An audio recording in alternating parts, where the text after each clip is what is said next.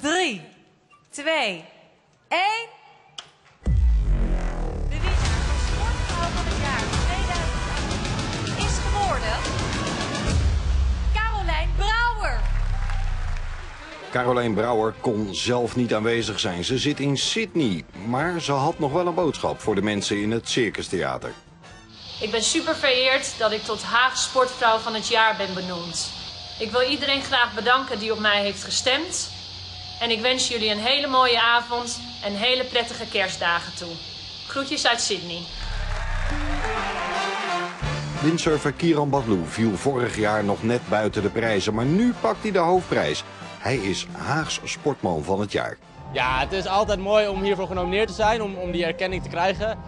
Maar als je er dan eenmaal zit, dan wil je ook wel het podium op en die prijs in ontvangst nemen. Dus dat, ja, daar ben ik gewoon heel blij mee dat ik dat eh, heb mogen doen vanavond. Maar ik vond het altijd fijn om erkenning te krijgen. En vooral van de stad Den Haag, waar sport gewoon heel groot is, waar heel veel talenten rondlopen.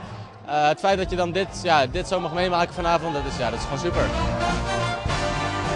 De ijshockeyers van Heijshockey waren de grote winnaars. Ze wonnen dit jaar al alles wat er te winnen viel. En werden ook nog eens gekozen tot sportploeg van het jaar.